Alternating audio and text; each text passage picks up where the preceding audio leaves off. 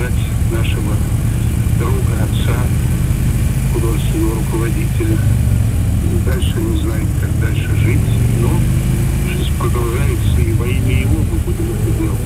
Это был необыкновенный человек, и человеческого необыкновенного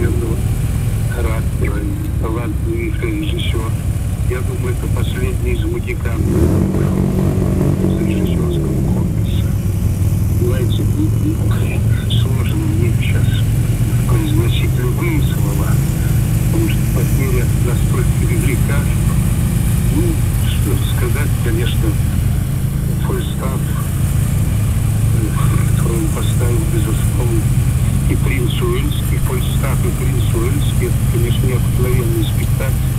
Когда я посмотрел, я сейчас скажу свою выявление, я сказал, Марк Анатольевич, это не человек 85-летний поставил, а человек, которому